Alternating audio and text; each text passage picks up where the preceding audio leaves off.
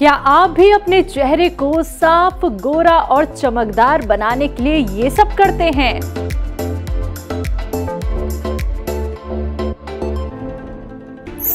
अगर आप अपने चेहरे के लिए ये सब कर रहे हैं तो अब आपको ये करने की ज़रूरत नहीं पड़ेगी। मैं आपको एक ऐसी चीज़ के इस्तेमाल के बारे में आज बताने जा रही हूँ, जो आपके किचन में ही मौजूद है, जिसके इस्तेमाल से आपका चेहरा निखर जाएगा। नमस्कार, आदाब। मैं हूँ आपकी शुभचिंतक शैलजा त्यागी और ये वीडियो अंत तक ज़रूर देखें। और अगर आपने अभी तक हमारे चैनल को सब्सक्राइब नहीं किया है तो तुरंत सब्सक्राइब ज़रूर कर लें।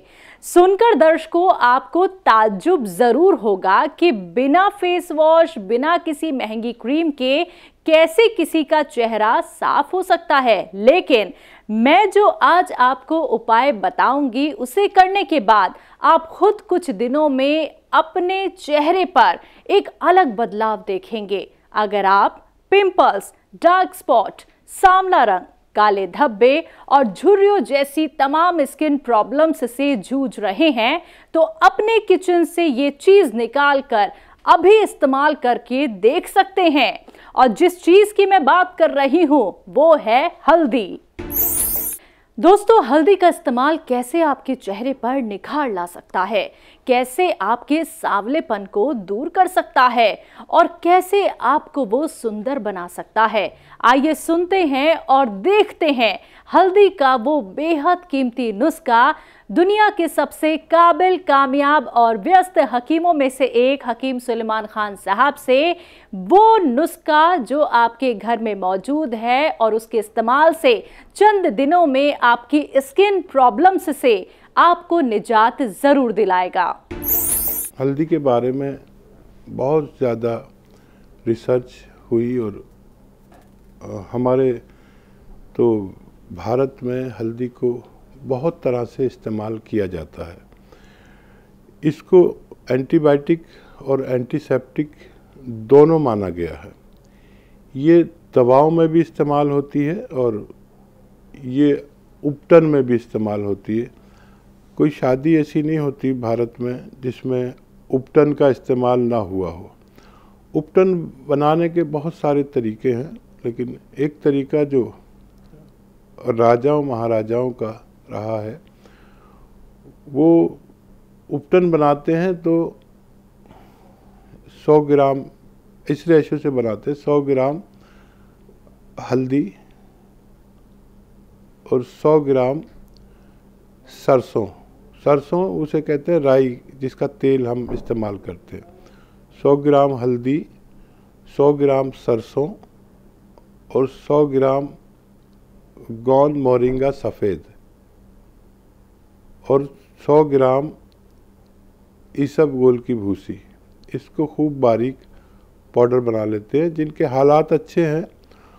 वो लोग इसमें चंदन भी मिला सकते हैं। चंदन चंदन का बुरादा। चंदन का बुरादा भी 100 ग्राम के रेशो से अगर इसे बना लिया जाए तो ये एक बहुत अहम या सबसे बेहतर उपटन माना जाता है। और फिर आपको पता है कि शादियों में इस्तेमाल होता है चेहरे की सफ़ाई के लिए, जिसम की सफ़ाई के लिए। बाकायदा सफ़ाई करता है ये हमारे चेहरे की। और इसको खाया और लगाया जा सकता है। ये बेपना ताकतवर एक पेस्ट है, जो लोग जिसम पर लगाते भी हैं और एक से दो ग्राम खा भी सकते हैं। खाने का तरीका यह है कि अगर इसको खाया जाएगा तो इसमें अपनी ज़रूरत का मीठा मिला सकते हैं ताकि ये पेस्ट मीठा हो जाए। या फिर इसे इसी तरह इतना सुखाया जाए कि ये पाउडर फॉर्म में दोबारा से आ जाए। तो इसका एक या दो ग्राम खाया भी जा सकता है अपने जिस्म की यानी ताकत के लिए, बहुत ताकतवर नुस्खा है। और हमारे चेहरे की सफ़ाई के लिए इंटरनल और एक्सटर्नल इसको इस्तेमाल कर सकते हैं। उपटन का तरीका तो सबको मालूम ही है कि चेहरे पर लगा के उसको रब करना पड़ता है, हाथों पर लगाना पड़ता है, लेकिन खाने का तरीका यह है कि इसमें जब खाने के लिए बनाए तो इसमें राई कम डालें ताकि ये आसानी से सूख जाए। लोग इसको पाउडर बनाकर भी रख लेते हैं और एक से दो ग्राम दूध के साथ लेना बेहिसाब सेहत का ख़जाना है।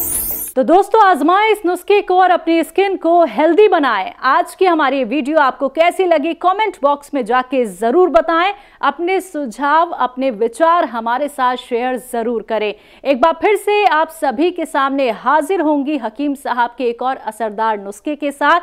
तब तक के लिए रखिए अपना ख्याल, मुझे दीजिए इजाज़त। नमस्कार। ऐसे ही हकीम साहब के तजर्बे का फ़ायदा उठाने के लिए हमारे चैनल हकीम सुलेमान खान को सब्सक्राइब करें और बेल बटन को दबाना ना भूलें, ताकि हकीम साहब के घरेलू नुस्खों से ज़्यादा से ज़्यादा आप फ़ायदा उठा सकें।